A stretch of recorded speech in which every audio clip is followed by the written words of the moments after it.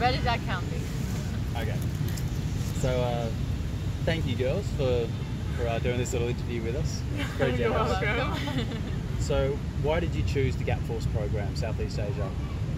Um, well, we did a lot of research on where we wanted to go. Thing like Gap Force uh, was like we wanted to do like a long trip, and the eight-week trip offered by Gap Force I think was one of the longer ones we could find. And it covered everything like the jungle, uh, island hopping, like seeing the sights of each city, getting to know the culture, like Angkor Wat. Um, it yeah, pretty much covered everything that we wanted. And uh, what was the highlight of the trip for you guys? Definitely Koh Tao.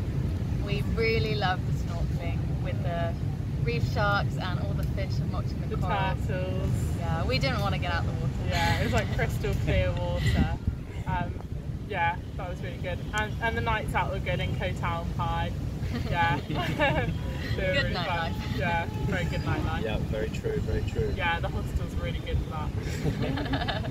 And uh, would you recommend this to other Gap Year students? And uh, what would you recommend to them? Yeah, Yeah. for sure. We'd definitely recommend it because it's such a great way of still being contained and you're safe, but you're also independent in your own way and you can go do your own things and you learn a lot from it as well. And uh, what do you think you've learned from the experience? Um, to do with, well, we've learned a lot about the culture. Like I didn't really know much about Angkor Wat or uh, the Vietnam War, and going to the killing fields, I didn't know much about that. So we've learned, we've definitely done um, a bit about learning about culture, but then also learning about packing and travelling. 'cause I've never done anything like that. Pack a lighter. really don't need that many clothes. You'll buy clothes out here. And uh, last question: If you could go back in time and chat with yourself before the start of the program, what would your advice to yourself be? I think, um,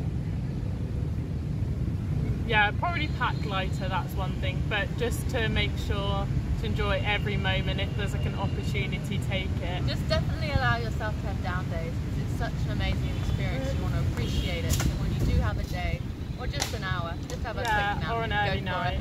It. Yeah, Yeah. definitely. Yeah, like yeah, for sure. All right, well that kind of wraps it up, I think. So Sarah, Annie, thank you guys very much for everything. You're welcome. Thank you very much. Cheers, guys. Loved it.